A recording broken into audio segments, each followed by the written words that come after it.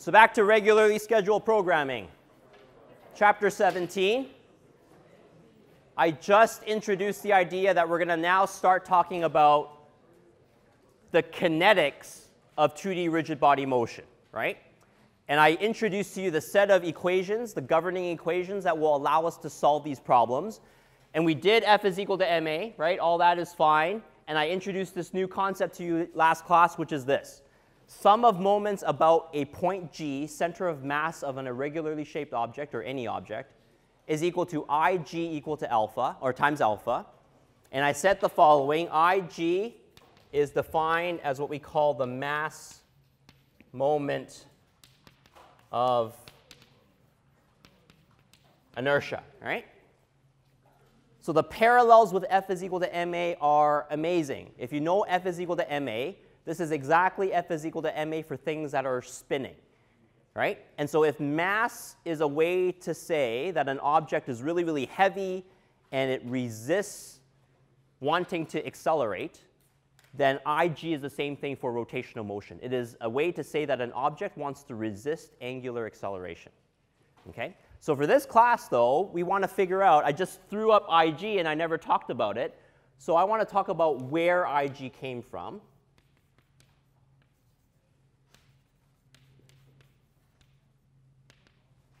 Okay. And I want to bring you back to angular momentum. So angular momentum is the other time in our lectures where I talked about things that were spinning, right?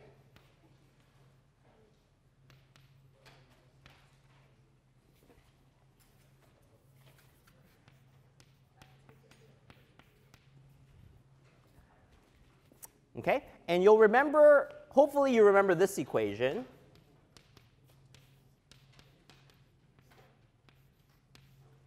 Remember that? I sort of said there's a sum of moments about a fixed point O, and it's equal to this change of an h naught, and this h naught was our angular momentum. Right? In fact, I'll tell you this. This was an h naught, and it was an RO cross MV. Right? Something like that, right? Oops, let's do P. Okay, so, so we talked about this. We talked about this angular momentum. And you'll recall that I even drew diagrams that look like this. So here's a, here's a point particle out in space, out in my xy space. And here's my fixed point O. And this particle is a distance RPO away from that origin, et cetera. It's got some momentum happening this way, Vp with respect to O, that's my point P, right? And so it's got some, it's got some angular momentum to it, okay? Okay, so if you remember that, here's what I'm going to do. I'll show you what happens to this equation when I figure out what my V is, my Vp with respect to O. You'll actually remember that I did something along these lines, right? I did let me see if I can get this straight here. So it'll be is equal to an RPO, and then I multiplied this by M, and then I also said the VP with respect to O is really just an omega R, right? It's actually just an omega R, especially if this is perfectly like that. So this would be an omega RP with respect to like that. Okay? And in some of those problems, when they were spinning around in this fixed point of rotation, this is what you would have seen. HO is equal to mass, and then I'm going to group this together. Oops. Mass RPO squared omega. Okay? Okay, so you'll remember seeing this mr squared at some point. I did multiple problems, right? Two balls on a rod spinning around and around. So this mr squared has significance. Here's what we're going to do. If a rigid body is a bunch of particles glued together, I can actually turn this into one of the points in an irregularly shaped object. Okay? So now this is my rigid body.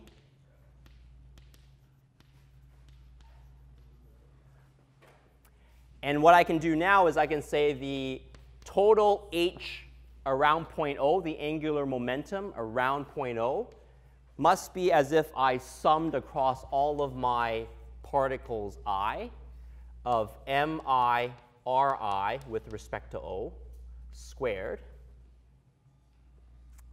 And all of this is multiplied to omega, right? Because same omega for all particles i. Right? Right? That's the definition of rigid body. They would all have the same omega. So what I can now do is I can take all of this and I can just summarize it with one letter. I call this my mass moment of inertia. Okay? So where I, O is mass moment of inertia about point O.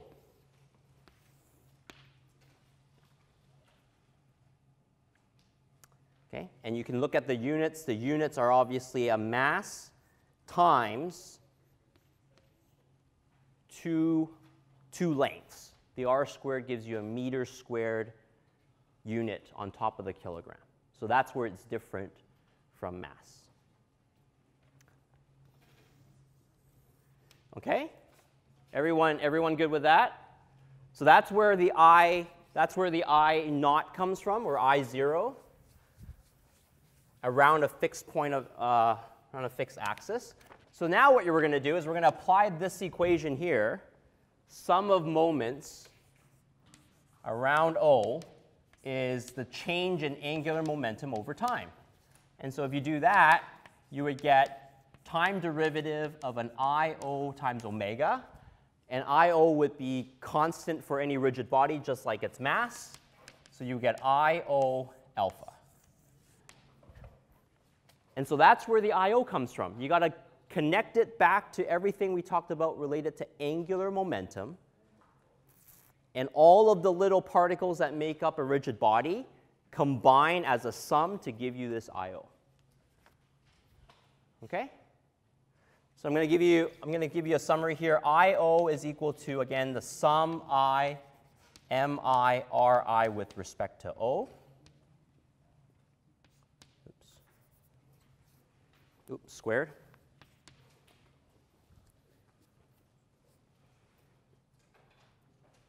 Okay? And then in integral form, basically what you can do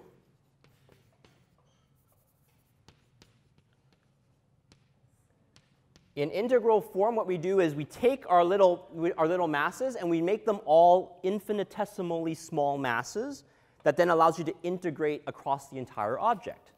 So the form of that would be IO is equal to integral of r squared times dm of i with respect to O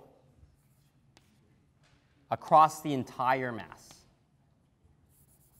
Let's do, let's do across the entire body. How's that? Okay? So what did I do there? I did nothing but change my, uh, all I did was I took the summation sign and I turned it into an integral and say that all of my mi's are essentially like a dm. That's a tiny little infinitesimal piece of mass of the rigid body.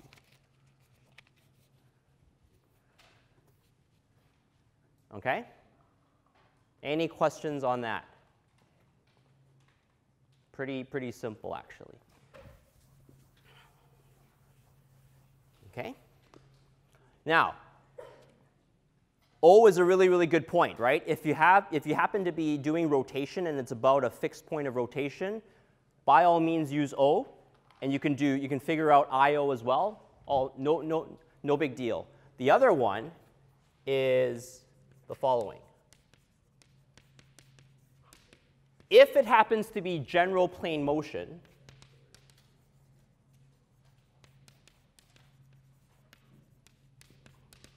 right? So the object is actually translating and rotating at the same time. Then you don't really have a point O to use, then you must do this.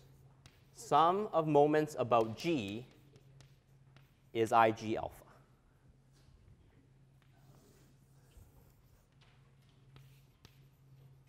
Where everything, moments, I, all determined, with respect to G, the center of mass.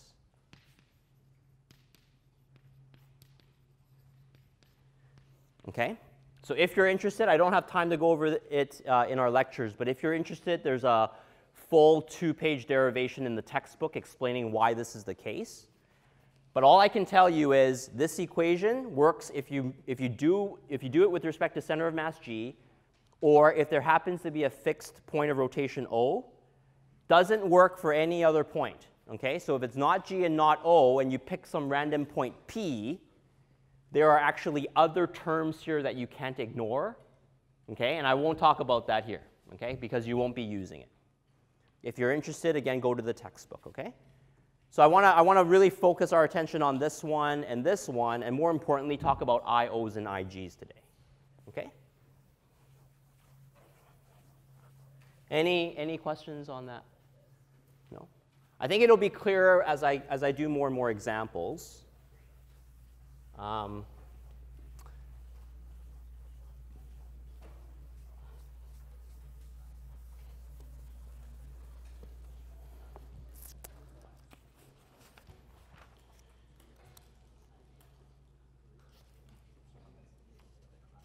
Okay, and then let me, let me summarize here where Ig is equal to sum of i, mi, and I'll make it clear here that the r's therefore must be measured from point G, like so. So that's the change. If you write a subscript, the subscript carries through for all your terms. So Ig must be measured from G. In fact, we often write this as mi rho i, so in this particular context, where rho i is distance from, from mi to g, right? So you're measuring just the distance from the center of mass to this other point on the rigid body. Okay? Which means you're doing the following. So let's just say you've got your point O and your x and y, same as before, but now I've got a rigid body, and the rigid body is moving in general plane motion, like so. The idea is you first locate the center of mass g, and then when you calculate your IG, you're doing the following. You're taking a point all the way out here, this is your MI, and you're doing this. This is your rho I all the little distances away from G, you're summing it all up, and that makes up your IG. Okay? Okay, so hopefully that's clear. And then now we're going to do more mass moments of inertia. So I'm going to jump into, I'm going to actually jump back to 17.1. This is the start of the chapter. And here's where they, they actually go into calculating different mass moments of inertia. And all the stuff that I did is actually bits of 17.2 and a little bit of 17.3 to give you context on why we're doing this in the first place. Okay? Okay, so I'm going to go into, I'm going to go into uh, some examples right away. So I've just described to you the equations involved, um, and so I won't, I won't repeat myself. But here's like a first example. Let's just say, lots of examples.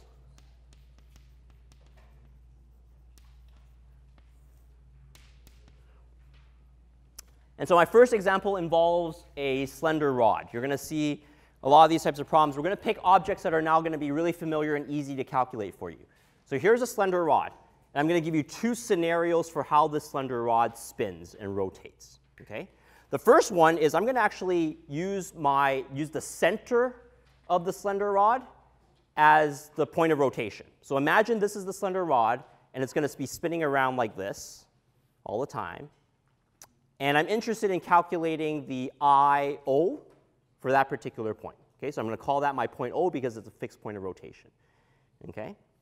After that, I'm going to do a second example, and I'm going to move my point IO to the end of this point, uh, to the end of the rod, and the whole thing is going to spin like this now. Okay? So just a quick question, right? I've got two different points, and I'm going to show you that the mass moment of inertia changes depending on the point that you're looking at for this rotation. Now, how many people think your IO is going to be bigger at the center than at the end? Raise your hands. Here's my IO. How many people think it will be at the end of the rod? Yeah, absolutely, right? So even without, even, even just without calculating it, just with the information I've given you here, your expectation is that it's an mr squared. So bits that are far away from the point of rotation have to contribute more. So let's take a look at the math. Take a look at how we calculate these things. Okay, so your first example, I'm going to do a slender rod. And I'll kind of give you a bit of 3D perspective on this. So I'll focus on this point.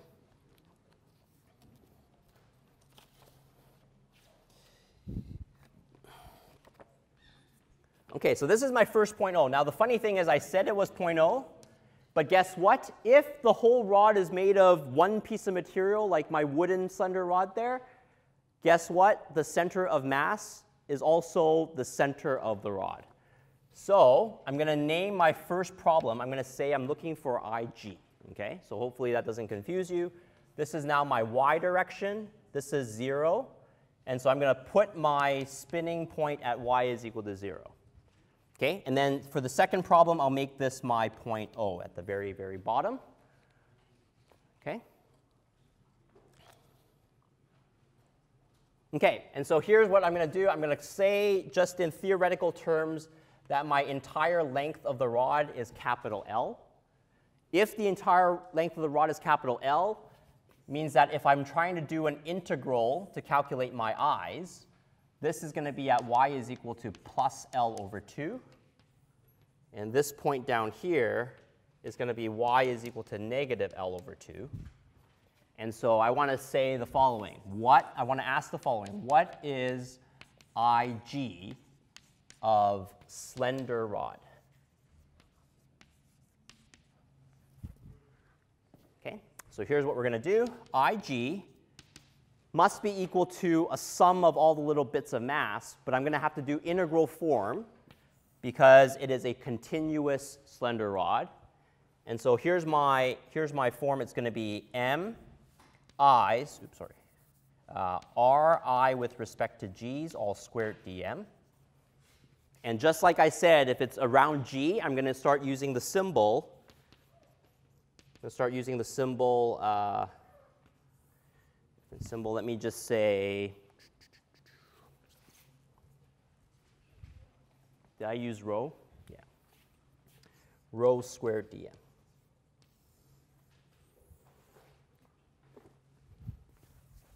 Okay, so what exactly does that mean?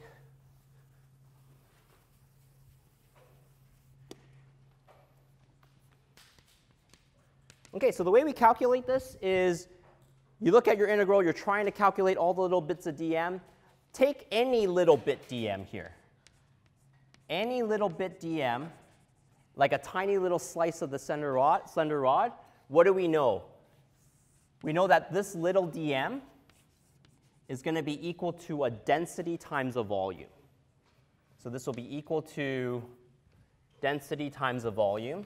Just do this. So dm a small slice of rod.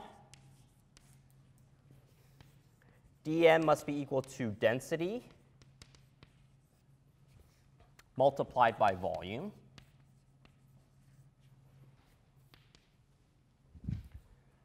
And the density, let me give you that letter as, it's a really good letter for density here. Let me just do a quick phi here. Let me just do that for density.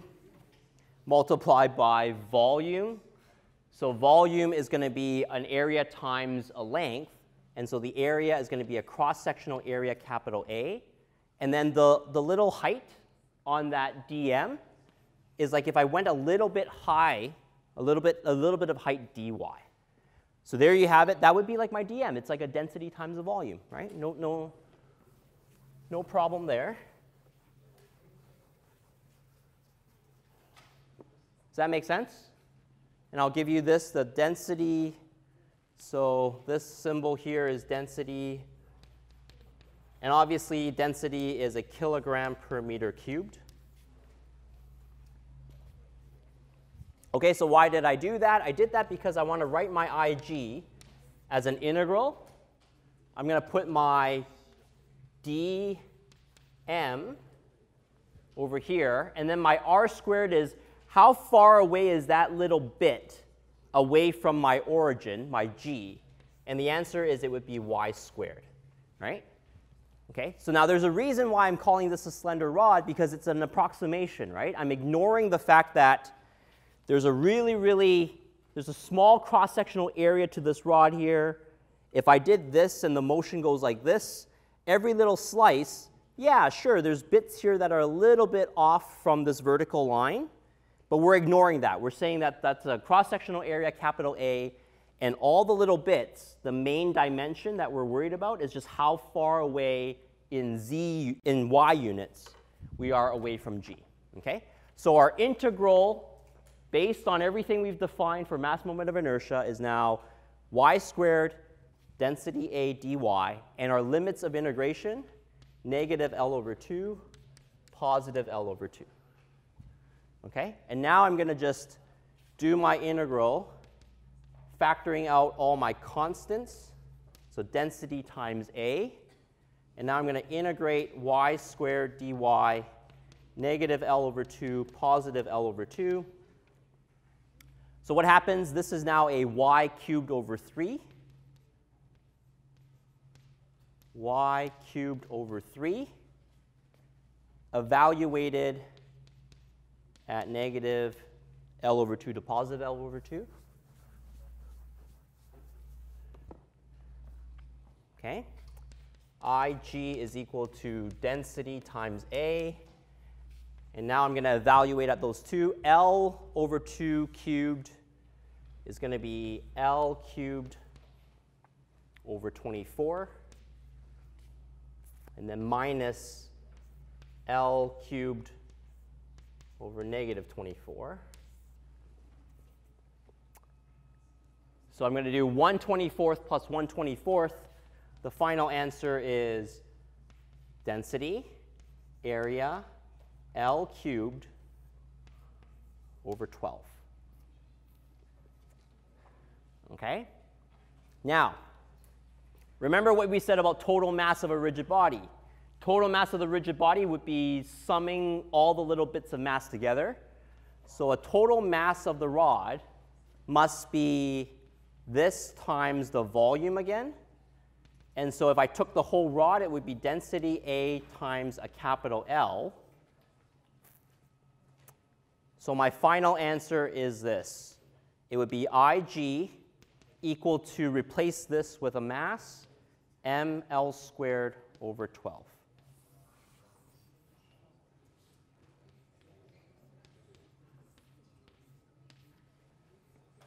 Okay?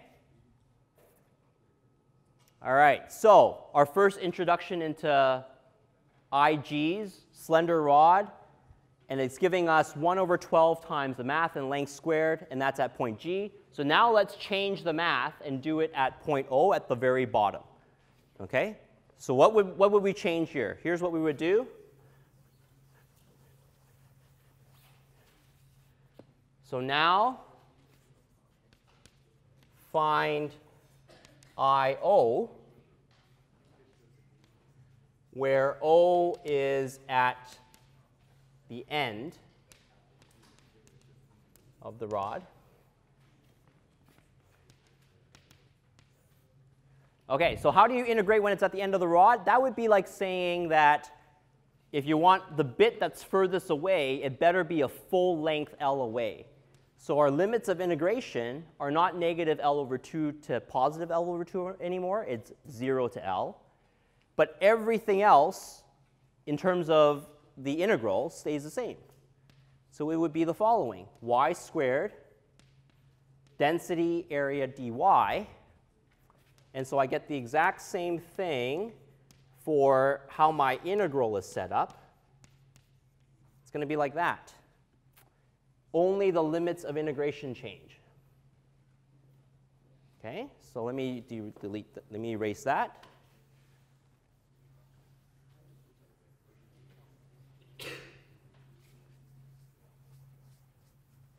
And so what do we get? We're going to get IO is equal to density area y cubed over 3,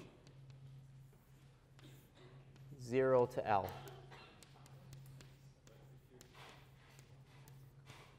Yeah.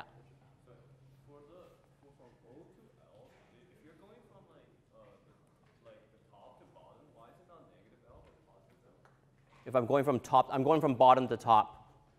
So once I, once I move to my slender rod at position O, here's what you want to do. You want to basically do the following. You want to say my new y is equal to 0 is at this point here. So that allows you to, to state very clearly that this is the point where you're rotating about, right? So that would be your, that point at the very end of the rod has no moment, a mass moment of inertia at that specific point because it doesn't, it doesn't have any distance away from the point where you're spinning. So now, up here, this is your y is equal to L. Okay? Okay, and so now I'm going to substitute my mass again. Okay, and there you have it, 1 third times ml squared, and indeed IO is going to be equal to 4 times IG. IO at the very end of the rod, just like you suspected, is much higher than the IG near the center of the rod, at the center of the rod. Okay, so there's your first example of mass moment of inertia. Any questions on that? Good. Okay, so let's just keep doing this. So what, here, here's what I'll tell you. You won't need to do this integral ever again right? The idea is now that you know how to do this, you should know, you should put this on your equation sheet and you should apply it for anything that's a rod, right? Okay, but what I will do is take you to the next example where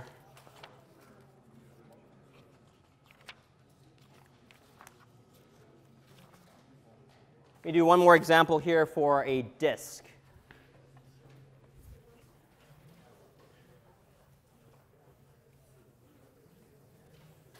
Okay, so let's do a disk. It's like a math lesson in integrals, right? But here's your disk.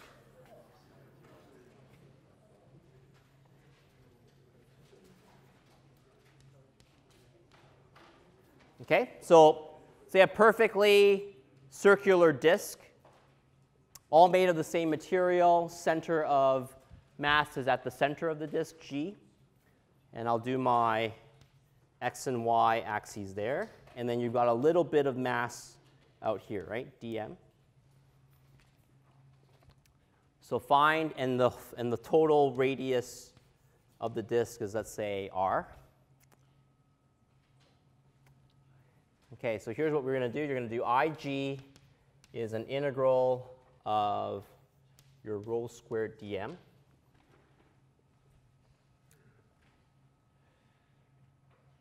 Okay, so how do you do this? What you do is you take little concentric rings of the disk, right? So I take one little concentric ring of the disk, and this one is at a variable radius r. So this, this one ring is one specific r, but this ring has a tiny little thickness dr, right? And it's at radius r, and you're going to do an integral from the center, r is equal to 0, all the way out to the edge of the disk, r is equal to capital R. And so your rho squared, depending on how you, depending on which ring you're dealing with, that would be an r squared. And then again, you're going to look for little volumes of rings. So your little volumes of rings would be density times the little thickness of the disk. So let me say the thickness of the disk is a letter, say, tiny little letter B. So we'll do B times the full ring has a whole circumference 2 pi r dr.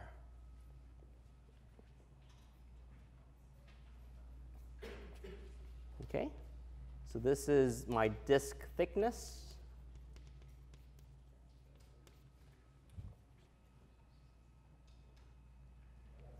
And this is the thickness of the ring. Width of ring. Circumference and density. Okay? So once you've got that set up, here's the final solution.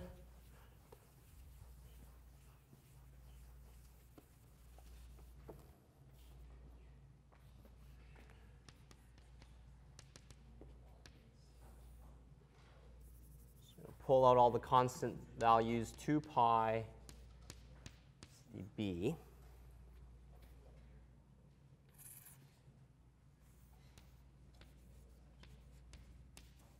That's what happened. You pull out all the constants, you're left with r cubed is equal to dr, or times dr, 2 pi density b, and so now we're going to get an r4 over 4 evaluate it from 0 to r. Oops. 2 pi density b, r4 over 4. And now I'm going to give you the mass for the disk. The mass for the disk would be just the whole area, pi r squared, times the thickness, times the density. Right? So it would be like the volume of a cylinder, essentially. And now I can take a look at how that fits into here, substitute that in.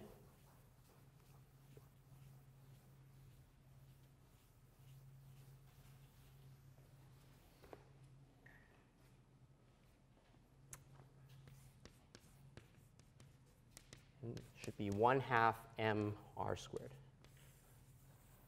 Nice simple equation.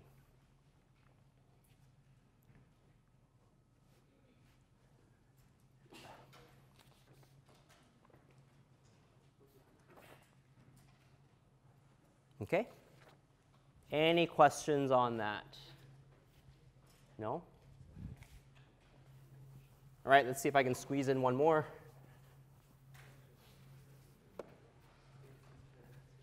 So let's do a third example,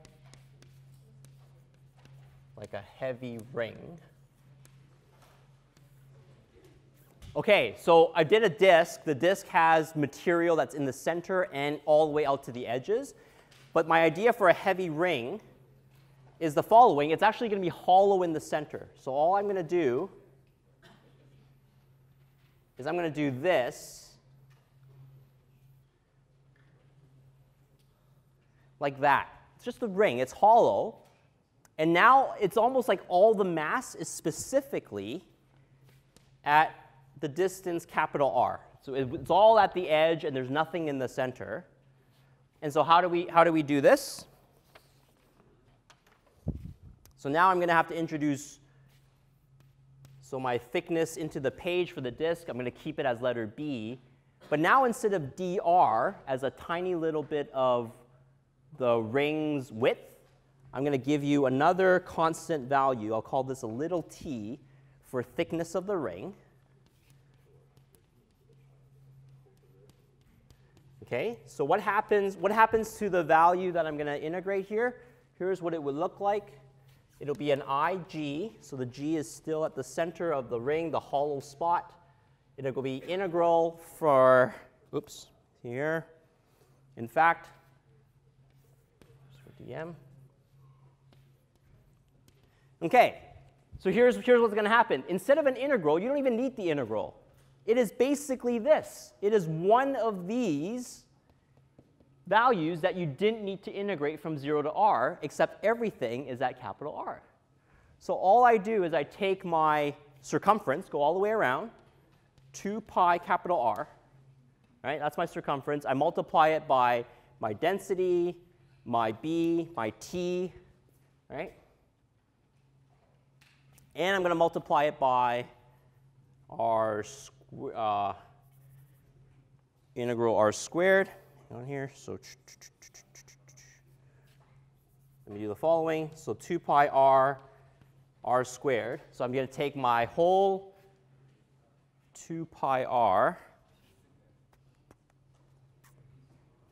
sorry,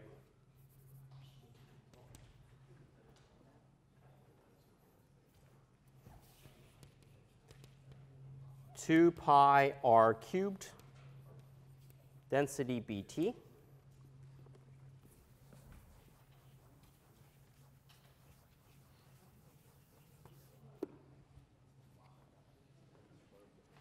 And what's my mass now? So the mass of the disk is going to be the volume that I have across the whole ring.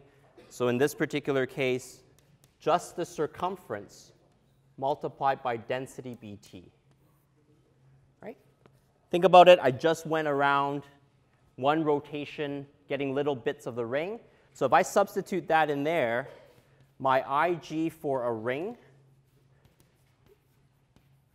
is m r squared, no half. Yeah, question. R is the radius in between the inner and outer because it's such a heavy, thin ring. Okay? So let's do thin ring. Okay? And it's like it's like the, the, the R is so much bigger than T, right? So R is much, much bigger than T. Say r is a meter and t is only a centimeter, like 100 times bigger. Okay? So I want you to think about this. Here's the solution for the ring. Compare it to the solution for a disk. What do you notice? It's that if they happen to have the same outer radius r, this one has a much larger mass moment of inertia. Why? All of the mass is concentrated at the edge, right? So it is that much harder to try to accelerate it if you apply the same moment. Nothing is in the center. The things that are close to the center are easy to accelerate. Things that are far away are hard. So as it turns out, the one half fraction is gone when you're dealing with a thin, heavy ring where all the mass is at the edge. Okay? Okay, so we're going to pick this up again on Wednesday. Um, go check out GE Week if you have some time. All right? I'll see you on Wednesday.